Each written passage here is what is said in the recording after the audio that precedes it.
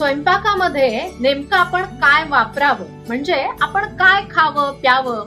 याचा विचार आपण आरोग्याचा विचार करताना नक्कीच करत असतो आणि तो खूप जास्त महत्त्वाचा आहे.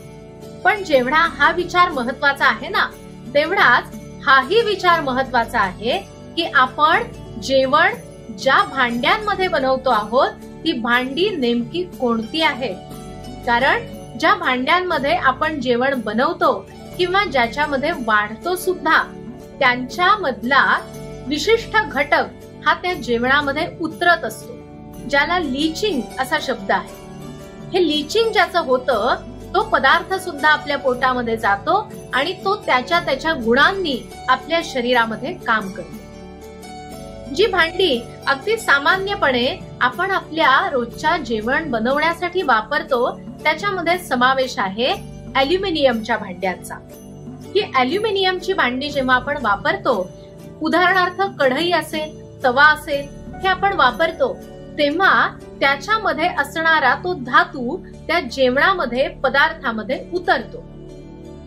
अल्युमिनियमचा गुणधर्म हा आहे की तो आपल्या मेंदूच्या भागामध्ये डिपॉझिट होतो म्हणजे साठतो आणि त्यामुळे अनेक प्रकारचे बॅरियर्स निर्माण होतात आणि कंपवात असेल म्हणजे पार्किन्सन्स असेल किंवा विस्मरण असेल ह्या प्रकारच्या अनेक मेंदूशी संबंधित व्याधी या अल्युमिनियमच्या भांड्यांमुळे होताना दिसतात तशा प्रकारचं संशोधन झालेलं आहे.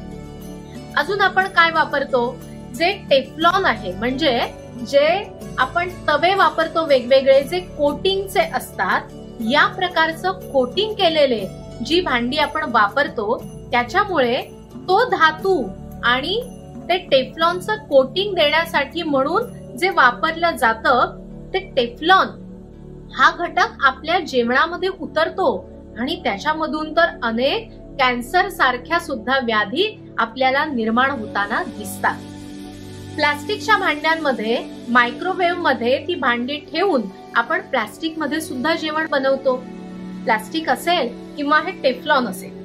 यांच्यामध्ये अशा प्रकारचा गुणधर्म आहे की जो आपल्या शरीरामध्ये असणाऱ्या हॉर्मोन्सची नक्कल करतो. म्हणजे त्याचं जे कंपोजिशन आहे ते आपल्या शरीरातल्या हॉर्मोन्स सारखंच आहे. त्यामुळे आपलं शरीर गोंधळतं. आणि मग स्वतःचे जे हॉर्मोन्स त्यांनी निर्माण करायला हवे आहेत ते तो निर्माण करू शकत नाही. विशेष करून स्त्रियांच्या शरीरामध्ये जेव्हा हे घडतं तेव्हा पॉलिसिस्टिक ओव्हरीज सारखे व्याधी सुद्धा त्यांच्यामध्ये निर्माण होऊ शकतात. पुरुषी हॉर्मोन्स स्त्रियांमध्ये जास्त प्रमाणामध्ये निर्माण होऊ शकतात. आणि म्हणून या प्रकारची अल्युमिनियम कोटिंग असणारी आणि प्लास्टिकची भांडी वापरणं आपण त्वरित थांबवायला हवं.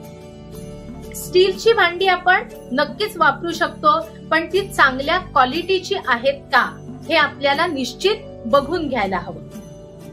पितळेची भांडी आपण वापरू शकतो त्याला जर आतून कलही केलेली असेल तर ही पितळेची भांडी अजून जास्त आरोग्यासाठी हितकर होता.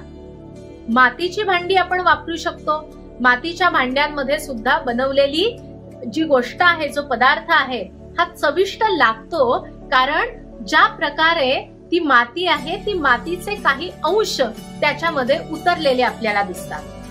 जितक्या प्रमाणामध्ये शिजायला हवा आहे तितक्याच प्रमाणामध्ये तो पदार्थ शिजतो अतिरिक्त प्रमाणामध्ये शिजत नाही. आणि म्हणून सुद्धा मातीची भांडी खूप जास्त उपयुक्त अशी आहे.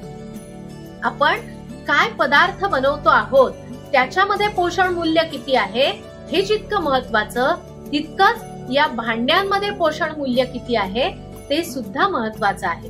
म्हणून जी भांडी आजवर आपण घेऊन ठेवलेली आहेत आणि आपल्याला हिंमत होत नाहीये ती फेकण्याची मी असं म्हणेन की त्वरित निर्णय घ्या. आरोग्यासाठी हितकर निर्णय हा लगेचच घ्यायला पाहिजे. तो तसा घ्या. पुन्हा आपल्या जुन्या स्वयंपाकघराकडे आपण परत जाऊया आणि तेव्हाच जे आरोग्य आहे ते त्या पिढीचं आरोग्य पुन्हा एकदा आपल्याही पिढीमध्ये आणता येतंय का बघूया. छान वापर करा स्वयंपाकघर सुंदर सजवा आणि या भांड्यांना पुन्हा एकदा निमंत्रित करा. धन्यवाद.